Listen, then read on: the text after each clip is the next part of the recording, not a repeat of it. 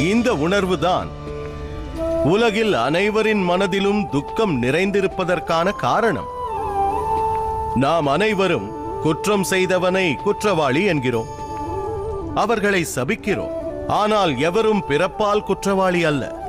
இதை பற்றி எப்போதாவது நாம் சிந்தித்து பார்த்திருக்கிறோமா?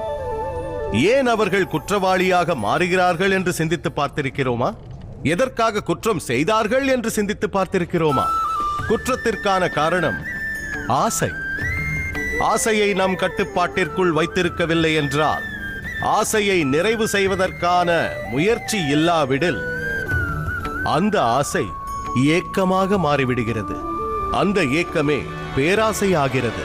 அந்த பேராசை சூழ்ச்சி செய்ய தூண்டுகிறது. சூழ்ச்சி செய்வதால் தான் மனிதன் குற்றத்தை நோக்கி அடி மீது அடி வைத்து செல்கிறான். ஆகவே மனதின் ஆசைகளை நாம் என்றும் கட்டுப்பாட்டிற்குள் வைத்திருக்க வேண்டியது மிகவும் அவசியம்.